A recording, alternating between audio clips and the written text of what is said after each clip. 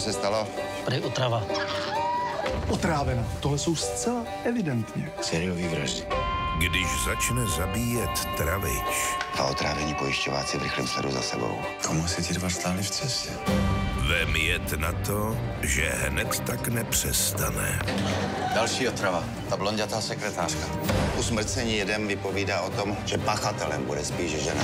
Temný kraj. Premiérový díl v neděli večer na Primě.